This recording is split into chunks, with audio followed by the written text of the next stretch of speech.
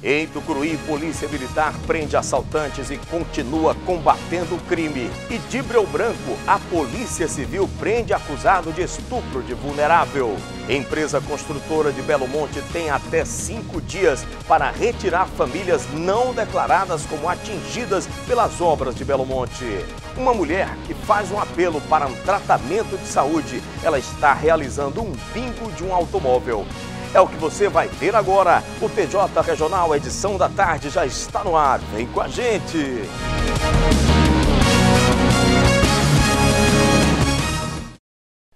Quinta-feira, 26 de abril de 2018. Obrigado, meu amigão, obrigado, minha amiguinha, pelo carinho da sua audiência, da sua companhia. Você já sabe, de segunda a sexta, logo após o SBT Pará, o seu encontro é com as principais informações de Tucuruí, da nossa região, do estado do Pará como um todo. Obrigado à nossa audiência no YouTube também. Já começamos falando sempre dos nossos patrocinadores. Esta semana não seria diferente, tem muitos prêmios para você. Adquira o seu Carajás da Sorte e mude de vida você também. Olha aí, título de capitalização é Carajás da Sorte, realizando sonhos com você. A Polícia Militar em Tucuruí prendeu assaltantes e continua em diligências a fim de combater e conter a criminalidade no município. As informações você vê agora no VT. De acordo com o Coronel André, comandante do 13º Batalhão da Polícia Militar, dois adolescentes foram apreendidos na noite desta terça-feira após praticar um roubo de celular no bairro Paravoá, onde também teve troca de tiros e os suspeitos foram baleados. Ontem, inclusive, a guarnição deparou com uma situação onde dois indivíduos em uma moto com uma arma de fogo estavam praticando o roubo de imediato um policial nosso, paisano, que a gente tem essa cultura, o policial mesmo paisano, ele vai para vai cima mesmo. Eu queria até parabenizar o policial, conseguiu intervir na situação, houve uma troca de tiro. De imediato a guarnição da Polícia Militar chegou, deu apoio, houve uma troca de tiro, dois indivíduos foram baleados e apresentados na delegacia. Segundo a polícia, a dupla é suspeita de ter praticado outros roubos na cidade. De suma importância que as vítimas procurem a delegacia para ver se reconhece esses indivíduos, para verificar se eles cometeram outros roubos e assim instaurar outros inquéritos. Uma motocicleta roubada no último fim de semana foi recuperada por uma equipe policial na manhã desta quarta-feira e o suspeito foi preso e apresentado na Delegacia de Polícia Civil. No sábado à noite, o cidadão estava em frente ao Banco do Brasil foi, é, foi assaltado. Né? Assaltou a mão armada e levaram a sua moto, essa que vocês já filmaram. Agora, essa questão do roubo de moto é grande aqui no Tucuruí? Sim, sim, a gente está, mas está é, tá sendo, tá sendo é, é, é, é uma incidência maior de roubo, mas em compensação também a incidência que nós estamos recuperando também é bem grande. Já de janeiro para cá já foram com essa 30 motos. Outro caso de roubo ocorreu em uma farmácia no centro da cidade. É, dois elementos fizeram esse assalto, mas já temos as imagens e como foi falado ontem, nós vamos dar uma resposta à sociedade. Atirou na polícia, nós vamos atirar nele também. Ainda de acordo com a polícia, as diligências continuam com o objetivo de prender os outros criminosos. Aproveitar a audiência da emissora e pedir que a população ajude a Polícia Militar nós estamos com operações diariamente, de manhã, tarde, à noite, com barreiras. O crime ele anda sob rodas. Então o nosso ponto principal é em cima dessas motocicletas. Dois indivíduos em motocicletas cometendo roubo na cidade. E com a ajuda do subcomandante, Major Augusto, nós estamos com operações diariamente. Precisamos e muito do, da ajuda da comunidade para que nos ajude a identificar esse indivíduo que meia dúzia de marginais tirem o, o sossego da nossa sociedade. Olha, hora de falar agora. Minha mãe merece essa super promoção. Dia 13 de maio agora é o sorteio, né, gente? A sua mãe também merece. Agora você tem que dizer pra gente por que é que ela merece. Grave um vídeo de 15 segundos com o celular na horizontal, ou seja, deitadinho. Grave, mande pra gente pelo 981050348. Faça como esses nossos telespectadores. Promoção Minha Mãe Merece. Gostaria muito que a minha mãe ganhasse essa televisão, porque ela é muito batalhadeira e eu amo muito ela. E meu nome é Wilhelena Oliveira Campeiro, o nome dela é Franciele, o nome da minha mãe é Franciele Souza Oliveira. Mãe, eu quero te dizer que você é uma pessoa muito especial na minha vida. Eu tenho muito orgulho de ser seu filho. Parabéns pelo seu dia, que ele seja cheio de paz, prosperidade. E eu agradeço muito a Deus por ter colocado você na minha vida. Parabéns pelo seu dia, mãe, te amo muito. Ai, minha mãe merece ganhar uma televisão, porque foi aniversário dela ontem. Então, ela tem só uma gitita, então ela merece isso. Te amo. Mande seu vídeo demonstrando todo o seu amor pela sua mãe. E boa sorte! Promoção Minha Mãe Merece. Nós agora vamos falar sobre primeiros socorros, o projeto Samuzinho, responsável por sensibilizar a sociedade tucuruiense em relação a vários temas, levou mais este, desta vez, para a Casa dos Idosos. O projeto Samuzinho tem como principal objetivo levar à comunidade tucuruiense noções de atendimentos básicos em casos de urgência. Aconteceu uma palestra onde profissionais compartilharam os conhecimentos adquiridos na teoria e na prática. Um dos objetivos do SAMU é levar o conhecimento de primeiro socorro a todas as organizações, né? inclusive aqui não deixa, não deixa de ser diferente, porque é um, um órgão que trabalha com idoso, e está propício a ter vários atendimentos. Então, nós estamos capacitando hoje os profissionais daqui para atuar numa questão de emergência e saber lidar com essas situações. O projeto Samuzinho está completando um ano de existência em Tucuruí. Até hoje, várias instituições já foram beneficiadas e a expectativa é que escolas e outras instituições também possam estar sendo contempladas com o projeto. Graças a Deus, é, estamos completando agora um ano de projeto, inclusive eu quero deixar aqui aberto já o convite para sábado, é, lá na Praça do Rota, estaremos fazendo um uma exposição do nosso trabalho com alguns parceiros também, onde vai ter brincadeiras, podem levar suas crianças. Para a instituição, receber o projeto é poder ter a certeza de ganhar conhecimento e melhorar ainda mais os atendimentos dos 18 idosos que são assistidos.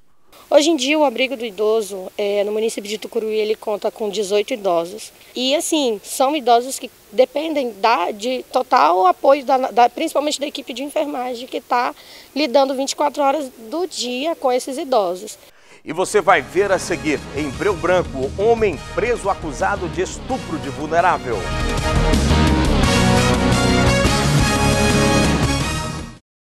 Já voltamos, minha gente, segundo bloco do nosso TJ Regional, edição da tarde. Alô, você que nos dá o prestígio da sua companhia neste momento aí do almoço, se preparando, hora da cesta, daqui a pouco vai voltar para a lida de novo. Alô para toda a estudantada também que nos acompanha, valeu, valendo, hein? Hora de falar de drogarias ultra popular, simplesmente a farmácia mais barata do Brasil. Tá precisando de medicamento ou mesmo artigos de perfumaria e você prefere aquele atendimento família agradável, com o pessoal sempre sorridente?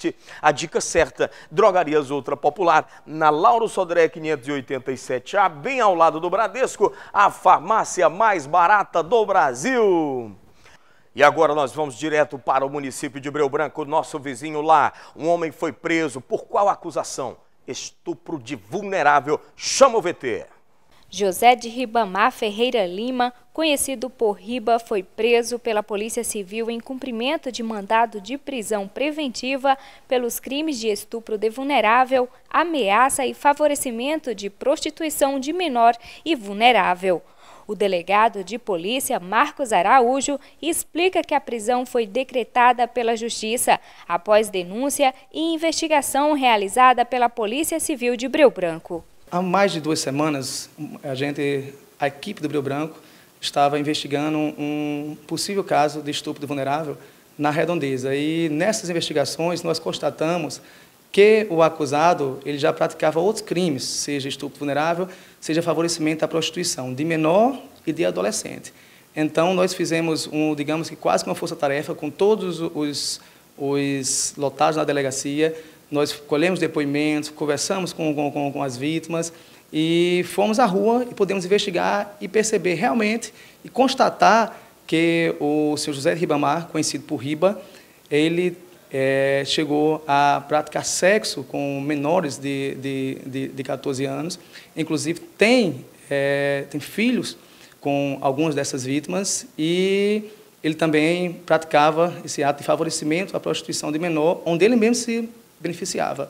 Ou seja, ele oferecia dinheiros a algumas menores de 18 anos e ele mesmo praticava o ato sexual com elas. Então, a equipe de Bel Branco fez uma força-tarefa nessas duas semanas e conseguimos tanto ouvir as vítimas, as testemunhas, conseguimos diligenciar, conseguimos, junto com o Judiciário, o mandado de busca e apreensão e de prisão e efetuamos a captura ontem do acusado. As investigações continuam, mas a polícia não descarta que o número de vítimas pode ser bem maior. Existe suspeita de outras vítimas, nós agora vamos, ah, com ele à disposição da Justiça, nós vamos agora é, cair em campo novamente para saber quem são as outras vítimas. Eu até peço que as, as mães que tenham conhecimento disso, os pais e as próprias vítimas possam ir à delegacia de Rio Branco, possam nos procurar e, é, quando chegar lá, se tiver, souber, se lembrar o rosto, é, enfim, a gente pode mostrar a foto para a pessoa é, identificar. É importante que vocês vão agora até a delegacia para que nós possamos, de fato, constatar que ele tem outras vítimas para cessar de vez essa atitude criminosa do preso. Vamos lá. Olha, agora eu falo para você de parar fogo extintores, extintores de incêndio, automobilísticos, prediais, sinalização e muito mais para você. Alô, alô, Joãozinho Guimarães, quem tem expertise no assunto é ele, hein? Ó, Magalhães Barata 97, próxima Câmara Municipal, parar fogo extintores.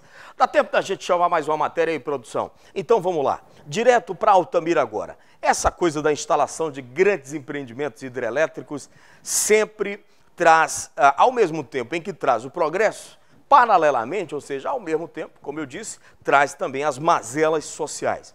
E agora, o Ministério Público Federal determina que em cinco dias apenas a empresa construtora de Belo Monte retire mais famílias que inicialmente foram declaradas, aliás, não foram reconhecidas como atingidas pelas águas da hidrelétrica. Agora as informações, quem traz é Rayane Brito.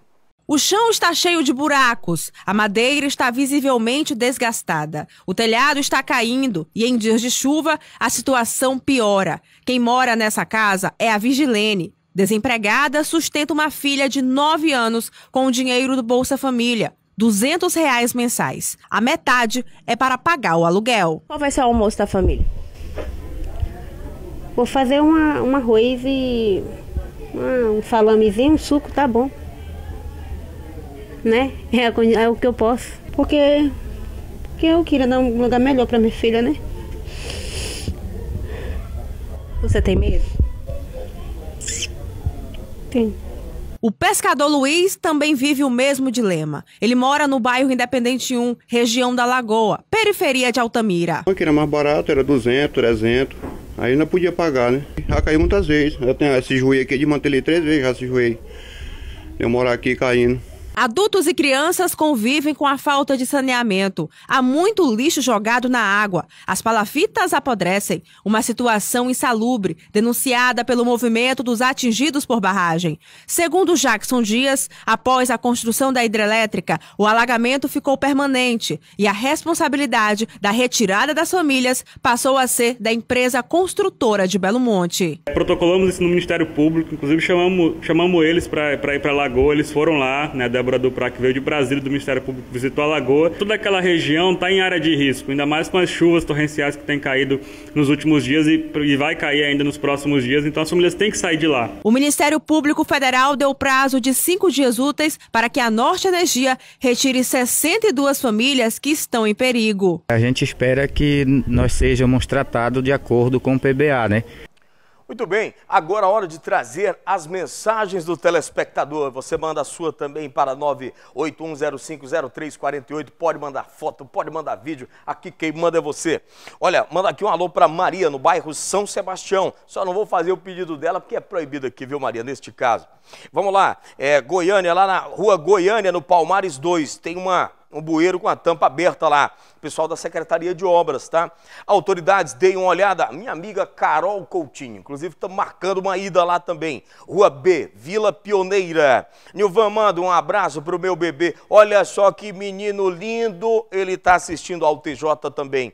Boa tarde, meu nome é Letícia, nas Crioulas, sempre ligada na nossa programação. Diz que é fã do programa. Parabeniza a toda a equipe do TJ. Obrigado. Essa menina linda com a boneca é a Letícia, isso? Manda um beijo para minha princesinha Alana Letícia no Mariluce.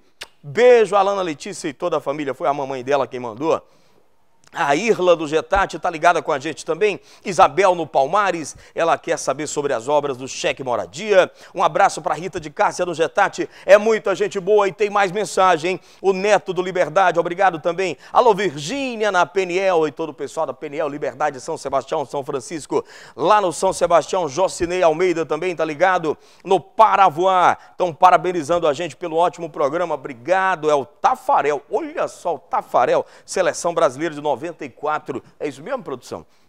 Quem mais? Ana Vitória. Olha a Ana Vitória lá no bairro Bela Vista com a Nájila. Põe as duas na tela. Olha aqui, princesa linda. Sou eu, a Val do bairro Serra Azul. O carro do entulho limpou o Serra Azul todo, mas não limpou minha rua. Mas não acredito, só faltou a rua dela, minha gente. Rua Nova Zelândia. Denúncia na Coab era para passar dia 20 o carro do entulho, até agora nada. Vamos cobrar isso aí. Tem mais mensagem. Ronildo está pedindo socorro na rua Amazonas, muito perigosa, muito buraco lá perto do Clube dos Cabos e Soldados. Nildo da Supano Beira Rio, também ligado com a gente. Olha aí mais uma princesinha. Boa tarde, manda um alô aí para minha irmã que completou 11 anos. Um abraço. É a Fabrícia do Palmares. Está aí a fotinha dela aí também. Nilvan, fala para o secretário de Obras e Serviços Urbanos que aqui é, no bairro Jardim Alcobaça tem ser humano morando, tem seres humanos morando. Ó, tem que dar uma chegadinha aí, viu? Essas duas é, telespectadoras aí também, eu e minha mãe sempre antenadas. Daniela do Serra Azul, muito obrigado, gente. Põe na tela a foto delas. Alô, Nilvan, parabéns pelo programa. Lourdes no Colorado, sua ouvinte número um. Um alô também para Bárbara. Dá os parabéns para Ivaneide no CAPS, é aniversário dela. Quem parabeniza é o seu irmão Wilson e toda a família. Tá aí a foto dela também, tá? E olha a folga dessa princesinha acompanhando a gente. Para finalizar, Nilvan, boa tarde. Manda um alô para minha filha Ana Gabriele. Olha a pose dela assistindo ao programa. É o Edivan. Um abraço, Edivan, Simone, todo o pessoal aí na Supan, Beira Rio e muito mais. Bom, eu vou chamar um intervalo. Depois do intervalo, tem uma senhora que está fazendo um apelo para um tratamento de saúde. Ok, estamos de volta. Terceiro e último bloco do TJ Regional, edição da tarde. Eletromateus, né, gente? Hora de falar do Eletromateus, espaço amplo. Quer comprar uma TV nova, quer comprar um sofá novo, aquele rack, quem sabe o guarda-roupas ou a cama para você dormir muito melhor com sono reparador. Você já sabe a dica que eu vou dar. Eletromateus, tudo para fazer você feliz na Avenida 7 de Setembro, bem em frente ao Poliesportivo, ao muro do Poliesportivo. Bom, Agora, gente, é hora de solidariedade. Esta senhora, que já esteve em programas de rádio, como Tucuruí agora, já também passou essa matéria no TJ da noite, a gente traz aqui no da tarde agora, porque vejam bem, ela precisa fazer um tratamento contra uma doença complexa, e eu até sugeri pessoalmente que ela falasse com o secretário de, de, de saúde, melhor dizendo, entretanto, ela mesma me disse que por conta da pressa e a burocracia existente nestes casos, que tem todo um processo e uma fila, obviamente, ela pede socorro e realiza um bingo, um bingo a fim de conseguir recursos. Velton, chama a matéria aí pra gente. Após lutar sete anos contra um câncer de pulmão, Elisângela diz que está curada, mas está com o pulmão debilitado e necessita passar por uma cirurgia. Infelizmente, a família não dispõe de recurso financeiro e por isso será realizado um bingo beneficente de um carro. Como o meu pulmão está muito debilitado, eu dependia de um balão de oxigênio para poder respirar, né? Porque muitas na hora que me dá crise, meu esposo me leva para o hospital. E como a gente não tem condição de a gente ter um, um, balão de oxigênio dentro de casa, porque a gente mora de aluguel também e tem que ser um balão de oxigênio equipado, né? E eu não tenho condição no momento. Então a gente apelou para fazer um bingo. que foi do nosso carro, que a gente tinha nossa casa em Barcarena, né? A gente trocou para poder fazer esse bingo. Aí a gente voltou para Capatucuruí porque minha família toda daqui, sou filha daqui. Então a gente optou para a cirurgia, né? Aí a doutora falou, ou escolhia o balão ou escolhia essa cirurgia. E a gente optou por essa cirurgia, que chega a 13 mil reais, né? Fora a minha despesa, né, para Curitiba.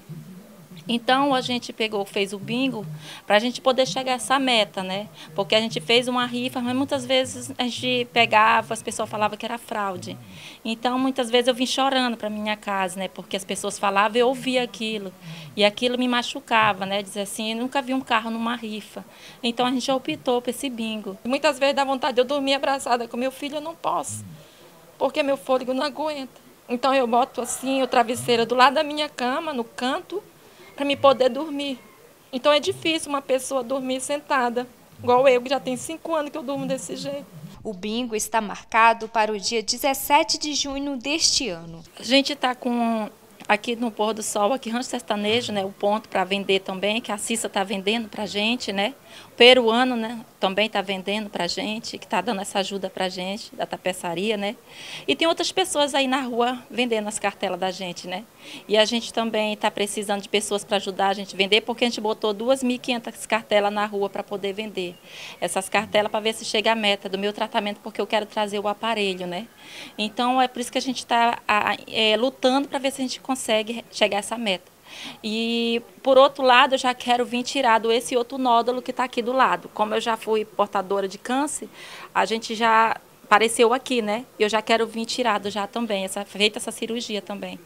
E eu já quero vir de lá com sucesso, né? Porque é o que eu mais espero na minha vida e é o que eu mais peço para Deus todos os dias.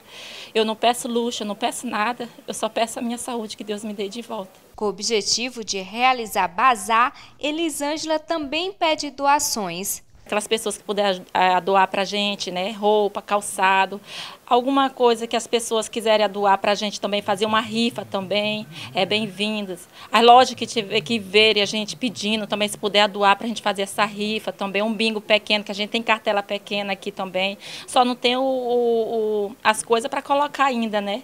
Porque as meninas sempre falou assim, gente faz um bingo pequeno antes de chegar esse grande, mas a gente não tem ainda condição de comprar no momento, né? Porque a gente está querendo arrecadar, né? Então vamos lá, minha gente, vamos ajudar essa senhora que merece, né, diante desse momento de dificuldade. Falar para você agora sobre medicina, o específico diferencial medicina, eu falei diferencial, o nome já diz tudo. A melhor equipe de professores que vão preparar você para passar em uma faculdade de medicina. Específico diferencial medicina vai ser na Vila Permanente. A Vila Permanente nunca mais será a mesma, porque vai receber essa galera boa aí, ó. Informações pelo 992888484, Bloco P, Loja 4, no Centro Comercial. Falei, diferencial específico medicina. É para você. Encerramos assim a edição de hoje do PJ Regional da Tarde. Obrigado pelo carinho da sua companhia, da sua audiência. Obrigado também à audiência no YouTube. Curte e compartilhe com a gente. Até amanhã, se Deus quiser.